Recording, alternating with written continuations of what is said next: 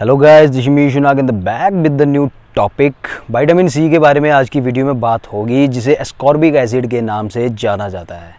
और अगर आप चाहते हो जो भी मैं वीडियोस अपलोड करता हूँ, वो आप तक पहुँचे then make sure to subscribe my YouTube channel Ishu fitness series for the upcoming updates let's get in the game guys first of all humans are unable to synthesize vitamin C तो सबसे पहले बात करते हैं इसके functions के बारे में। Guys vitamin C work as an antioxidant in your body. Collagen formation इसी की वजह से होता है। बोन्स फॉर्मेशन ये करता है।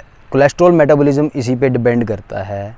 और अगर आपको कोई चोट लगी है, अगर आपको कोई घाव है तो उसको भरने में ये काफ़ी ज़्यादा हेल्प करता है। एंड गाइस, साथ में ही आयरन एब्जॉर्प्शन में ये काफ़ी ज़्यादा हेल्प करता है and helps to reduce the risk of cancer in your body. तो अब जान लेते हैं वाइटामिन सी के कुछ नेचुरल सोर्सेज के बारे में, जहाँ से आप naturally vitamin C daily basis के हिसाब से ले सकते हो।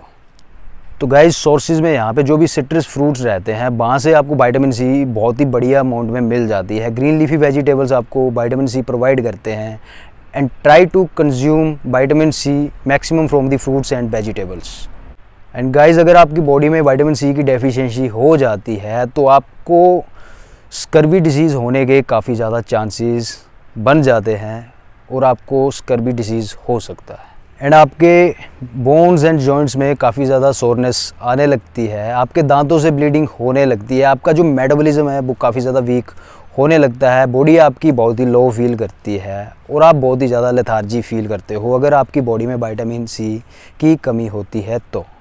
और अगर आप as a supplement vitamin C use करते हो तो एक से दो ग्राम तक आप पर डे के हिसाब से वाइटामिन सी कंज्यूम कर सकते हो। और अगर आप डेली बेसिस के हिसाब से दो तीन ग्राम से ज़्यादा वाइटामिन सी कंज्यूम करते हो तो आपकी बॉडी में टॉक्सिसिटी होने के काफ़ी ज़्यादा चांसेस बढ़ जाते हैं, जिसमें आपको नोज़िया वॉमिटिंग डायरिया होने का काफ़ी ज़्यादा खतरा बढ़ जाता है। तो गाइज़ एट फाइनली यही थी कुछ इन्फॉर्मेशन वाइटामिन सी के बारे में। मिलते हैं फिर अगली वीडियो में, तब तक के लिए टेक केयर बाय